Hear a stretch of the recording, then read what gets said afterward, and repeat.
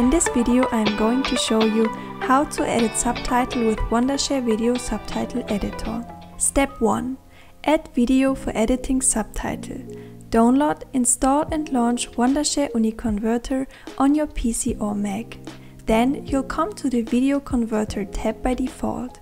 Click the document icon on the interface to choose and add the video you want to edit subtitle. Step 2. Edit subtitle to video. After the video is added successfully, a thumbnail will appear.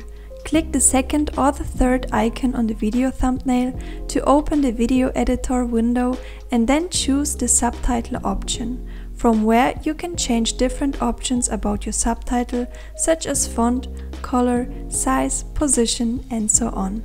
Click the OK button to save all your changes. Step 3. Save subtitle for playback. Choose an output video format for your video if you need it from the output format option.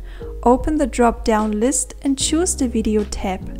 Then select a video format and resolution. You can also tap on the device tab to choose iPhone, iPad or Android devices supported formats. Finally, click on the convert button to save and convert all your changes. That was the instruction video for editing subtitle with Wondershare Video Subtitle Editor. Thanks for watching.